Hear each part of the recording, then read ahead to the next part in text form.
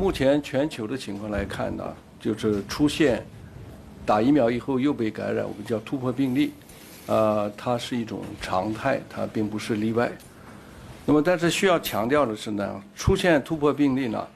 它仍然是我们看到病例的话，觉得呃有打疫苗的人，但是它仍然是打疫苗这个巨大的人群当中，我们已经打了三十多亿剂了，当中的少数，是吧？那么，新冠病毒疫苗在全国呢，呃，在全球呢是第一次在人类使用，所以很多的东西呢还是数据在积累过程当中。那么临床数据显示呢，任何一款疫苗都不是百分之百的保护这个效率的，但是总的判断呢，目前各种变异株呢，仍然是在我们现在的这个疫苗的可控的范围之内。那么我们国家去年以来呢，采取的防控措施呢，也都是有效的。由于我们这个现有的防控措施能够落实到位，疫苗接种呢。也是在全球是领先的，没有大规模爆发的现实环境。基于境内呢大规模疫情的，呃，在境外开展的大规模的这个疫情的国家呢，开展的真实世界研究呢，特别是像在智利开展了一千多万人的这个研究过程当中呢，我们可以看到我们国家科兴公司的灭活疫苗呢，它的总体保护率呢，就是。对所有的症状的轻症的保护呢，在六十五以上。那么对预防重症和这个呃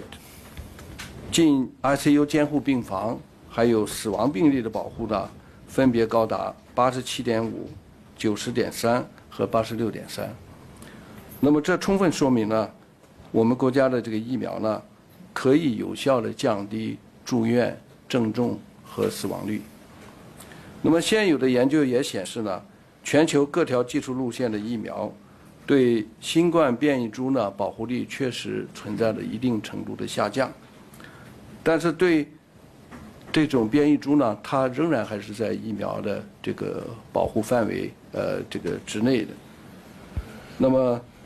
特别是它的中和抗体和保护率还都是一定程度的这个存在的。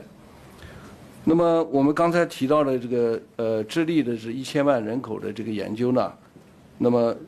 使用我们国家的科兴疫苗有效，而这个地区呢就是呃伽马变异株流行为主的地区。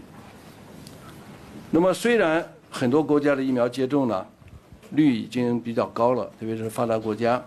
那么但是在放宽疫情控制措施之后呢，仍然都出现了大幅度的疫情反弹。那么这再次说明了，疫苗接种必须和严格的防控措施并用，那么这才是防止疫情反弹的主要的措施。所以呢，为了保障大家的安全，接种疫苗之后呢，请大家继续维持个人的防护措施，包括戴口罩、保证社交距离和勤洗手等。好，谢谢。